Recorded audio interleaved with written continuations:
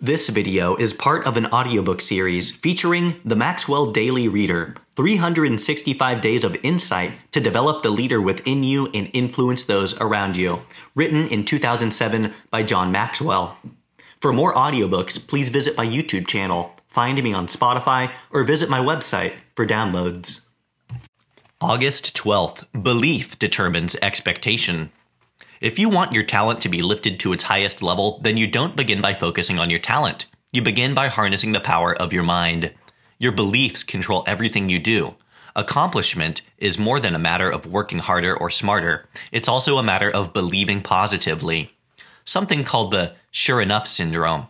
If you expect to fail, sure enough, you will. If you expect to succeed, then sure enough, you will. You will become on the outside what you believe on the inside. Personal breakthroughs begin with a change in your beliefs. Why?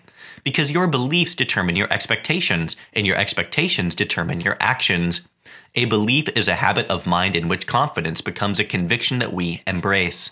In the long run, a belief is more than an idea that a person possesses, it is an idea that possesses a person. You need to expect to succeed.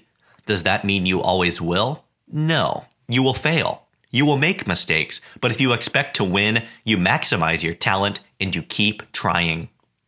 Attorney Carol Randall said, quote, Contrary to popular opinion, life does not get better by chance. Life gets better by change. And this change always takes place inside. It is the change of thought that creates the better life. End quote.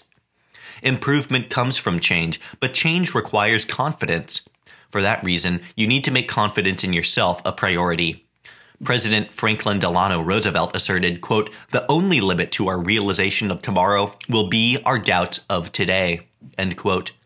Don't let your doubts cause your expector to expire.